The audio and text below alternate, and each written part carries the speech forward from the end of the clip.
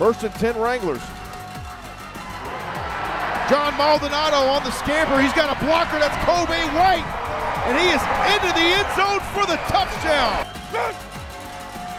From the shotgun, he looks to throw. He's going to get some air underneath that one. And into the end zone for the touchdown.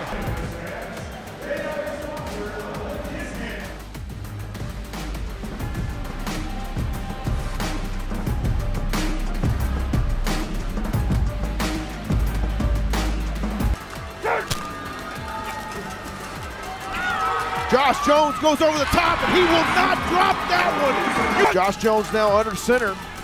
He fades away, and Kobe White into the board. Correction, Kobe White and John Maldonado in motion. They'll go to Maldonado, and he will haul it in over the defender.